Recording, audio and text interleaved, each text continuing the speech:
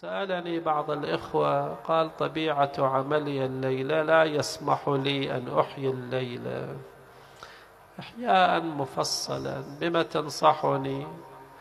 في دقائق أريد أن أحيي الليلة ماذا أصنع؟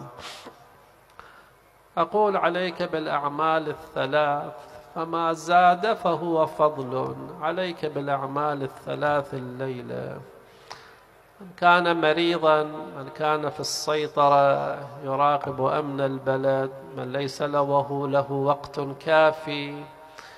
عليه بهذه الأعمال الثلاث. أولا صلاة الركعتين سبع مرات سورة التوحيد. ثم بعدها قل كما في الخبر لا أستغفر الله ربي وأتوب إليه. قل أستغفر الله وأتوب إليه.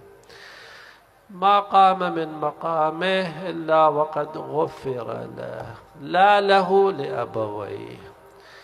هذا العمل الأول التزم به. العمل الثاني دعاء المصاحف أيضا بتوجه.